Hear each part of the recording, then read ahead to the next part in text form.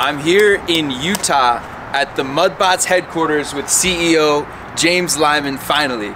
For my longtime subscribers, you might remember an earlier video I did referencing Mudbots, but I have to say, I really knew nothing about the industry back then. That was almost three years ago, and now that I've learned so much more, James has invited me to take a tour through his facility and see the things that they've been working on. As it turns out, we didn't know anything three years ago either. we thought we did. Well, welcome to Mudbots. Uh, we're approaching our fifth year right now.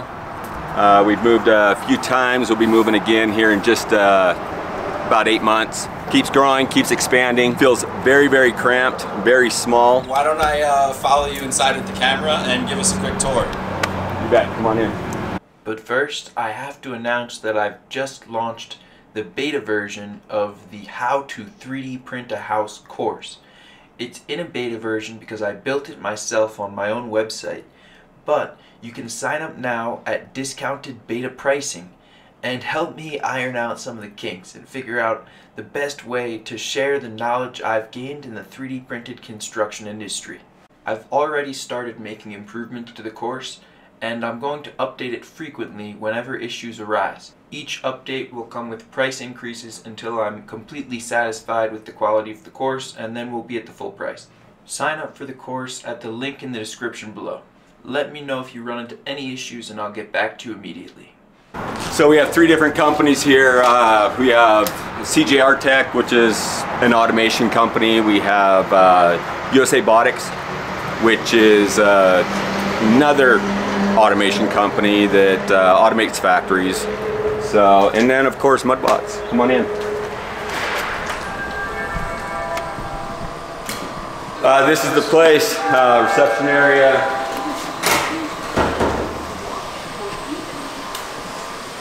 These are our six axis robots, our four axis robots. Our classroom, classroom training area. This is some of our smaller stuff that uh, landscapers, pool companies, monument letters, just uh, so it's, it's a lot of our earlier stuff. This here, if you look at it, you'll see uh, our main emphasis from day one was very, very consistent layers and printing without stopping.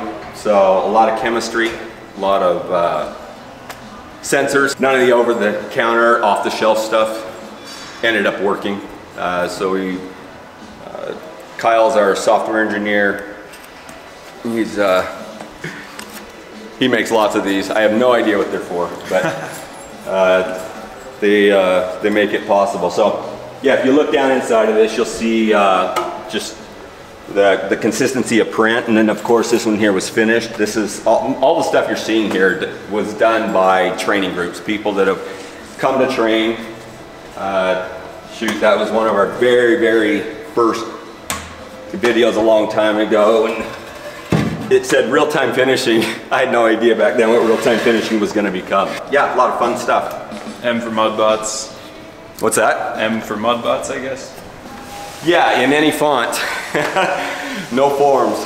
So here's uh, some of our, for our fencing contractors, fencing that we have. Uh, we put uh, fiber optic lights in it. You can do it in a house, you can do it uh, top of a pool, master bedroom, living Premium room. feature. yeah, anything that wanted to do. And so we do these, uh, well we have contractors that do these in sections. They can be picked up, taken to the site and just stacked. High slump wall. Uh, and just as we're doing things, we're like, wow, that, that's kind of a cool look. Uh, you know, it's not what you're not used to seeing. Usually you see smoother lines or whatever else, but we had people that are like, I really like the look of this. It gets that uh, little bit of a breaking effect on each one of the passes. Are you making your own material here? What do you mean material? The material you print with. Going clear back to the very beginning, uh, as we looked at uh, the idea of a proprietary mix. We would have liked to have, uh, to sell the mix. It's a way to create revenue on every single job being done across country, but we knew shipping was gonna be a problem.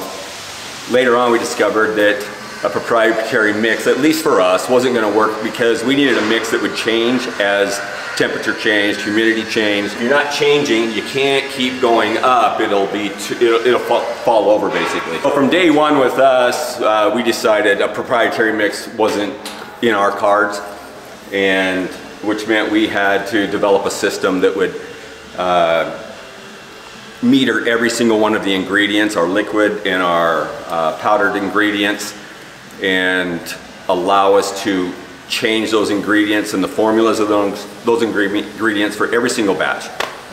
So. In many ways, printing an object like this is harder than a house because you have such a tiny layer time. So you need to be buildable within a minute or two minutes mm -hmm. versus having 10 or 15 minutes per layer. That, that, that's what our that's what all the our motion controllers and our sensors uh, in our mixes is looking at. Uh, but you're absolutely right. To print something smaller like this, our, we have to be curing much, much faster or we can't keep going up to eight feet. And we knew from the very beginning we had to have a system. If it was going to be faster, cheaper, better, we had to have a system that was curing at different rates throughout the day, uh, especially for your outdoor printing. Yeah, bigger prints, easier than smaller prints, I can tell you that.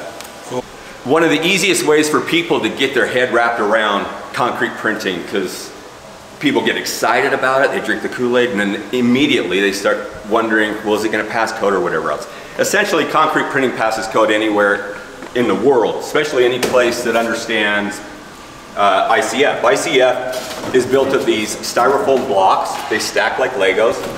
And then while they're going up, you have, you have your horizontal rebar and rebar bridges. So if you think of concrete printing like this right here, okay, as printing both sides of this styrofoam wall, running your rebar in it, filling it solid full of concrete, it passes code everywhere. The difference is we're not printing with uh, material that, okay, you can do this. We're printing three times the strength of a cinder block. If you think of it as ICF, we're printing both sides of the wall. Uh, we're putting electrical, plumbing, rebar, reinforcement inside the wall. It gets poured solid with concrete. Uh, that helps people start to go down that, that path of understanding how this process is done. Ideally, you don't want concrete poured in the middle though, because if this was a printed wall with concrete in the middle, eight inches wide, you only have R3. R3 is gonna cut it any place. So, I mean, you want an R25, R30 wall, so we teach our customers different types of insulation methods and building methods that allow them to not have this poured solid with concrete and still pass code. But it's a starting place. This is a training piece that all of our uh, customers have to do. Uh, we're literally finishing the outside of the wall as we go, all the way up. Our exterior requires no finishing whatsoever, no plaster, no, nothing on the exterior. We have a myriad of different designs, uh, similar to uh, a basket weave. We call this a, a, bubble print when showing it for quite a while now.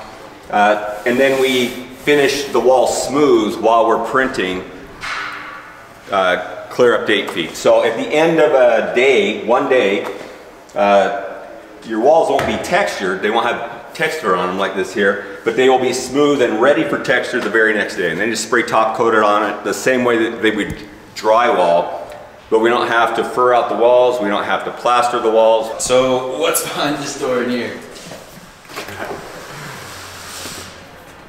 so some of this, uh, the number one component of what we do is our training. We have a month of pre-training with videos. You come here, you print every single day. Um, we start you on small prints, you work your way up to big prints. They don't leave here uh, until they've printed 15 different prints and uh, the, the, last thing they have to print is something that's 400 square foot. Uh, they put the electrical in the wall while they're printing. You see the Romex going in right now, the boxes went in. We don't stop, they're not allowed to stop. During our training, we do things like disconnect their power. You got five minutes to fix any problem you have, and if you can't get back, you're gonna end up with a cold joint, which is uh, Satan around here. We don't allow it.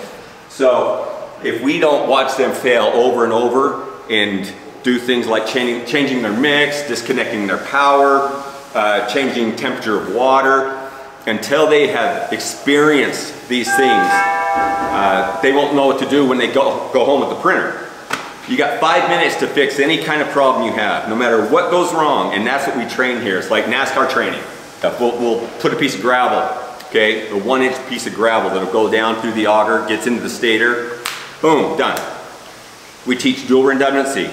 Our customer, our systems are complete. Uh, mixers, hoppers, everything you need. Uh, but we teach dual redundancy, two mixers, two hose, another hose just sitting right there with fittings, um, separate pump. You know, our pump's like uh, $7,800. Uh, so we make the components affordable so that no matter what happens, you can fix it. If I got a, we call it NASCAR training when the guys come in and the first couple days they're here, we have them take apart a pump and put it back together. And then we let them compete and we give away some cash to whoever ends up winning and whoever's the fastest. When they do that the very first time, it's 15 minutes. By the time they're done, they can tear that apart and put it back together in two minutes. So uh, they just got to do it over and over and over. We cannot let customers buy our printers and go out and print crap. If they do, they ruin the reputation of Mudbots. They ruin the marketability of our existing customers. Our customers after training still got to go home and print every other day for two or three months until we certify them. So not only do they print this while they're here, then they have to go home and print it again in secret.